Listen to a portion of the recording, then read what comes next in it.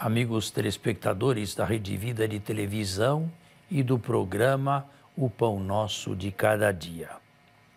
Irmãos, escreve Paulo, sede imitadores meus e olhai para aqueles que se comportam segundo o exemplo que receberam de nós. Porque já vos disse e repito agora com lágrimas nos olhos.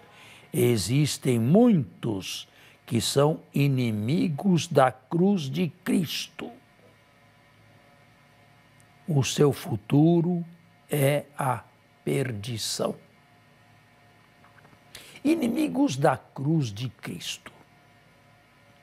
É uma expressão que aparentemente não nos diz coisa alguma ou muita coisa e encerra todo o sentido do ser cristão.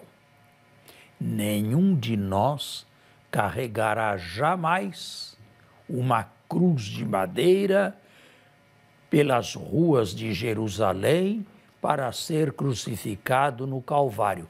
Esta foi, materialmente falando, a cruz de Cristo. Mas nós temos as nossas cruzes. E eu não me refiro, em primeiro lugar, àquelas que são lote comum para toda a humanidade.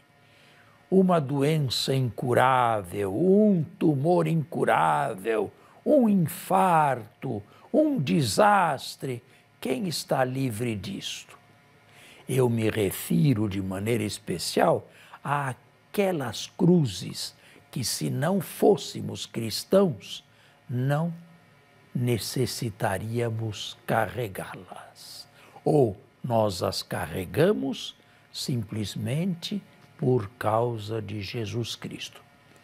Querem um exemplo que já dei aqui alguma vez? Jesus proibiu o divórcio não separe o homem aquilo que Deus uniu.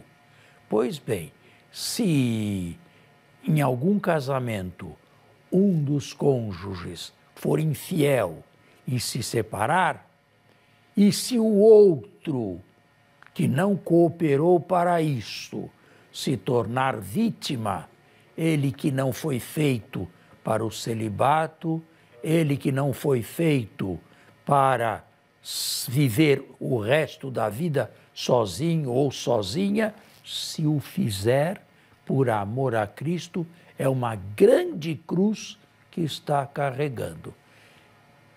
Era como se ele, agora, com a sua própria cruz, seguisse a cruz de Jesus.